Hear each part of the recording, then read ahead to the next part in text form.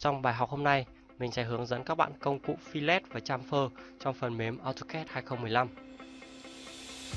Khi vẽ các bạn vẽ, nhiều khi chúng ta muốn xử lý các góc giao điểm giữa các đối tượng như thế này, ví dụ góc vuông này, hay là góc giữa các cái đường polyline này. Đấy.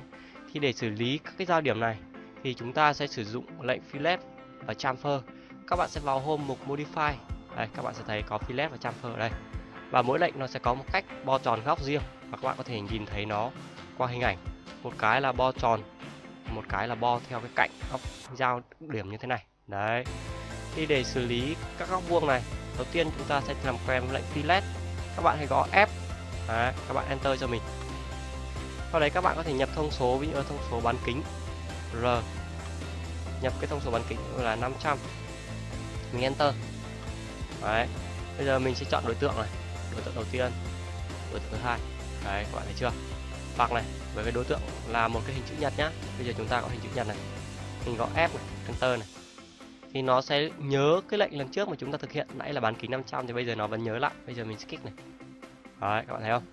Đấy mình enter lại này kích này. Enter lại này kích này. Đấy.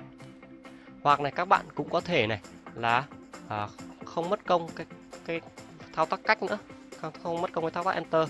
Mà các bạn có thể là Ờ, sử dụng cái công cụ fillet hàng loạt. Các bạn sẽ gõ F này. Đấy các bạn gõ R này thiết lập bán kính này. Ví dụ như là 1000 này. Đấy. Sau đấy các bạn chọn công cụ multiple này. Các bạn gõ M M, này. Enter. Và bây giờ chúng ta có thể là à, fillet hàng loạt như thế này. Đấy không phải mất thời gian cách nữa. Đấy, thấy chưa. Đấy. Cái điểm hay của công cụ fillet và công cụ chamfer là bạn các bạn có thể hoàn toàn áp dụng nó cho những cái đối tượng thống nhất là các đường polyline hay là các hình chữ nhật vuông mà các bạn vẽ bằng công cụ recta đấy. Thì có một cái điểm lưu ý với các bạn rằng khi các bạn có F này đấy.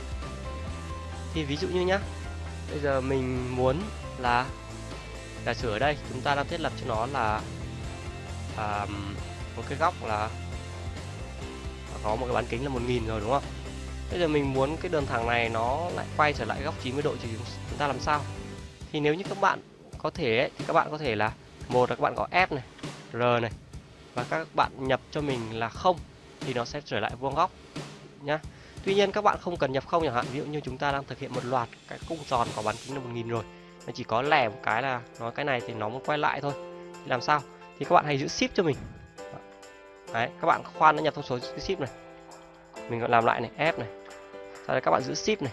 Đấy kích đối tượng đầu tiên này kích đối tượng thứ hai này. Đấy các bạn thấy chưa? Nó sẽ à, bỏ qua việc cung tròn mà nó sẽ giao lại cho bạn một cái khoảng cách với bán kính là không tức là vuông góc như này. Đấy các bạn thấy không? Đấy. Thì đấy là lệnh fillet cái lệnh fillet này ấy, thì các bạn cũng có thể là áp dụng cho tất cả các cái đoạn cua của các đường polyline ví như một cái đường polyline như này nhá. Đấy, mình có đấy polyline này. Đấy như này nhá.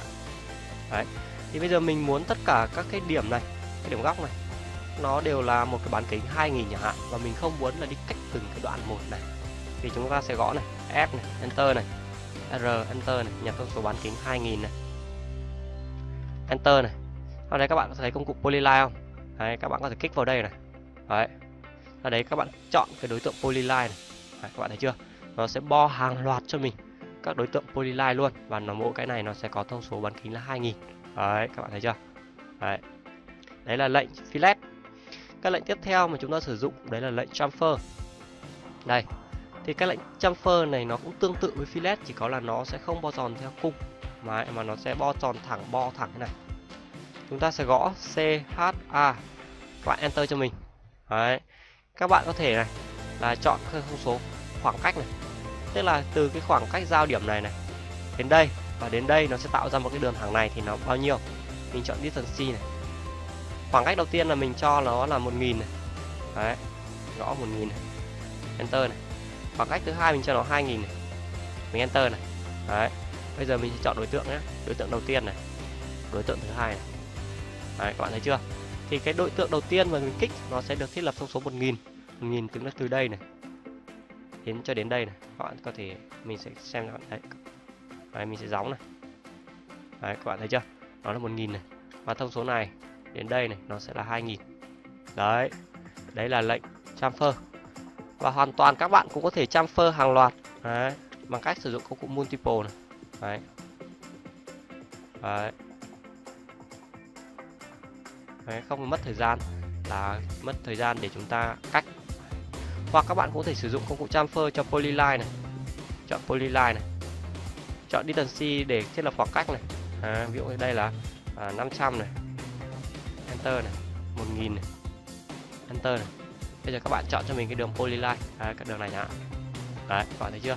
Chúng ta đã giao cắt đấy, các góc xử lý hàng loạt mà chúng ta sẽ không phải mất thời gian từng xử lý từng cái điểm này nữa thì đây là hai cái lệnh à, thường xuyên sử dụng trong AutoCAD. Đấy. nhất là các bản vẽ kiến trúc mà các bạn muốn là vẽ vỉa hè bo lòng đường đấy, hoặc là những cái xử lý những cái góc giao cho công trình thì rất là hay sử dụng. Đấy. Thì xin chào và hẹn gặp lại các bạn trong các bài học lần sau.